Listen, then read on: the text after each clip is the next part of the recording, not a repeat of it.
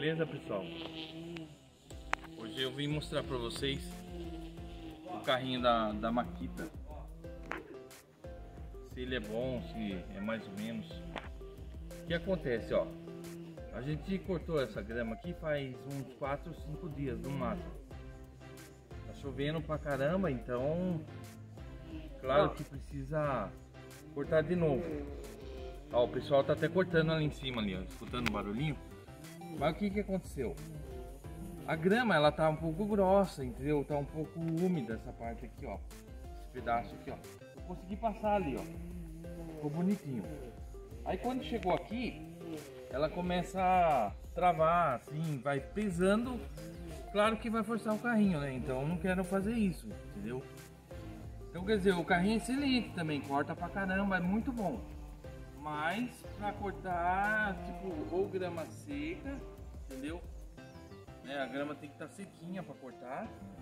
E se for pôr nessa parte assim, se começar a passar, você vê que o carrinho tá, tá engasgando, tá pipocando para ir, não force o carrinho que você estraga, entendeu? Então, o esquema é esse, ó, passar num lugar seco de preferência.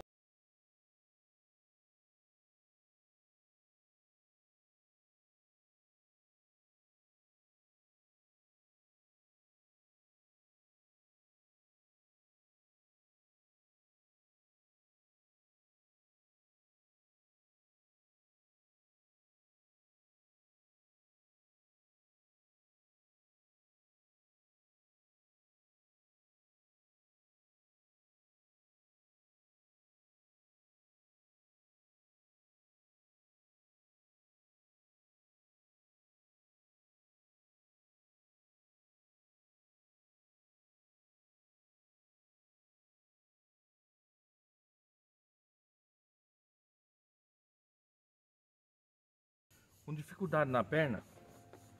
Então fazer só um pedacinho aqui pra mostrar. Mas ó, coletor, então quer dizer, não fica grama assim, você não precisa ficar passando rastelo tal. É só tirar isso aqui e jogar fora, entendeu? Aí é mais fácil, é claro, a gente joga longe, então a gente vai colocando assim, tipo, numa caixa, né? Algum.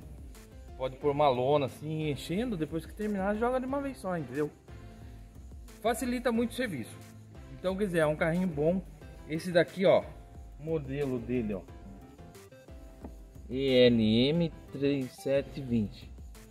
Eu sei que ele é 1400 watts, entendeu? A energia que ele usa aqui é 110. Claro que se a pessoa for usar num lugar onde não tem energia, sei lá, num mato, aí vai ter que ser a gasolina, entendeu? Mas enfim, para você ter na sua casa, para você fazer o seu jardim, vale a pena também, entendeu? A gente não comprou a gasolina, que ele tá esquecendo, mas ó, ali é meio descida. E o que acontece? A gasolina é aquele lance de dois tempos, não pode virar, não é isso, amor? Quatro tempos, sei lá, não pode virar? Ele tem que ser sempre reto. É, esse no caso que ela tá falando aí, é o quatro tempo. Só que ele não pode ser lugar muito. É, a inclinação dele, se não me engano, é. É pouco, é 15, é 15 graus. graus, é bem pouquinho. Então, quer dizer, num caso desse aqui, já é meio forçado para ele, entendeu? Ele vai passar, mas é um pouco forçado. Então, se for um lugar mais descido ainda, então nem, nem adianta, que vai estragar o carrinho. Por isso entendeu? que a gente escolheu o elétrico. Exatamente. Aí esse aqui, ele pode subir, descer qualquer lugar, entendeu? Então, se você quiser comprar um carrinho desse, vale a pena, ele é bom, entendeu? E claro, né, a marca não, não deixa dúvida, entendeu? É da Makita uma marca muito boa também, vale a pena. Então é uma dica para vocês, pessoal. Aí fica a critério de vocês, é claro. A gente está mostrando uma coisa boa, entendeu? Então vale a pena. Então é isso aí o vídeo de hoje. Não esquece do joinha para nós aí. Se você gostar do vídeo, é claro, né? E se inscreve no canal lá, a gente já tá chegando nos mil, entendeu? Falta só você, entendeu? Obrigado, valeu, tchau. Fiquem com Deus. Até mais.